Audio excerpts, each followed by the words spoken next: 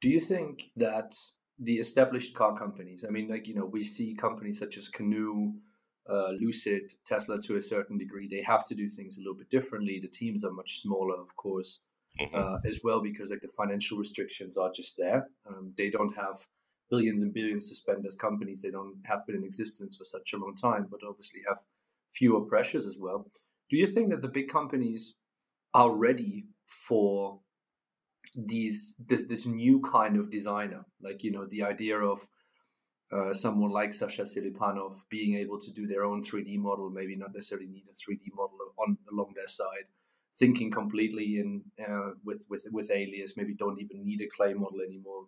That's of course a whole different story. But you know, do do you think that these big companies are ready for this flexibility and understanding this flexibility also in their working pipeline to really use these kind of kids that come out in the best possible way uh, also giving them what you've mentioned in the beginning the opportunity to do both interior exterior or maybe interior and U, ui or ux like not to the fully detailed level but you know understand the entire experience. Are, are they ready or are they are they just behind at the moment because of their structure and process well, I think it's very case by case. Um, you know, I think the industry, just because of its size and the amount of capital investment involved, moves really slowly in terms of like cultural changes.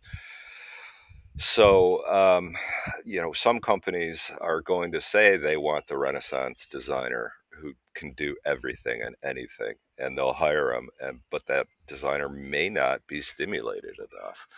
So it's up to up to the um, whether it be HR or the design management to keep this person engaged um, in a meaningful way. Um, and if they're happy just doing one thing, you know that's fine. But um, I know that students who truly think about like I, I I feel like I'm in danger of just paying lip service to uh, like the design process and human-centered design just because it's it's so it's it's become so common these terms thrown around now. Um, but i think that young people are wanting more meaning in what they do beyond a paycheck.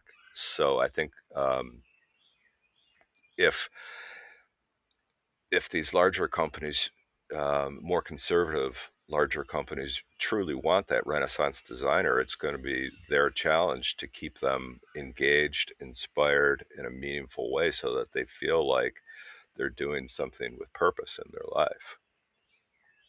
And certainly these these renaissance designers are uh, you know they get they get multiple offers.